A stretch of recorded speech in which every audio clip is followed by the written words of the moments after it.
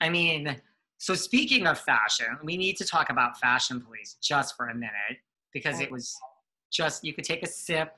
It was just the it was the best. It was the best show. Like do you do you miss it? Was that like one of the Um, highlights for you? I totally miss Fashion Police. It was so fun and it was just it was just fun.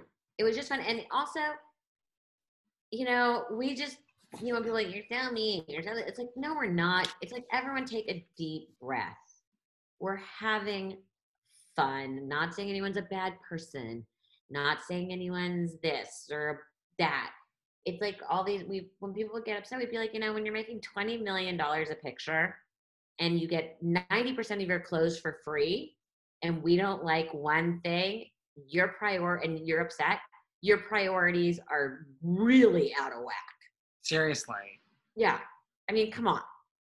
I mean, I would be like the people that felt it was a badge of honor to be like slammed on it. That's A how I would be. by the way a lot of people did. They and they got that it was fun and it was funny and it was light and it's like we say it's like people are like oh that's awful. We're like really? Is that what you say to your friends sitting on your couch? That was my mom's whole thing. I say when you're sitting next to your friend on the couch watching the award show you're like oh you know that's what it was Was Kelly really your mom's favorite? favorite child Favorite of that? I mean, it just seemed like Joan just loved Kelly. I mean, besides oh. you, of course. Well, I'm not going to say she had favorites. She adored George. She adored Giuliana.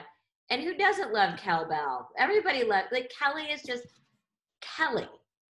You know, We love Kelly. we love Kelly. I just, I was just texting with her the other day.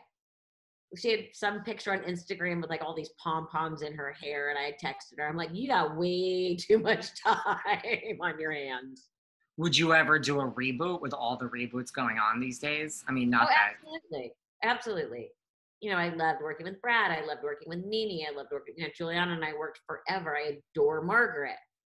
Um, you know, there's a couple people I wouldn't want to work with, but I it, God, we could use it now too.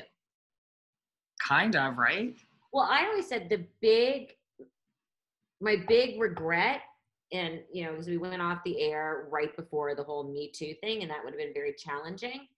But uh, a friend of mine put it great. They're like, when everybody wore black to the Golden Globes, it was like the greatest Project Runway challenge ever. Everybody's in black. You have the most beautiful women in the world. You have all the best designers in the world. Go. Like that would have been the best fashion police. Like Yeah. I love it. Like, can we just pick a color for every award show?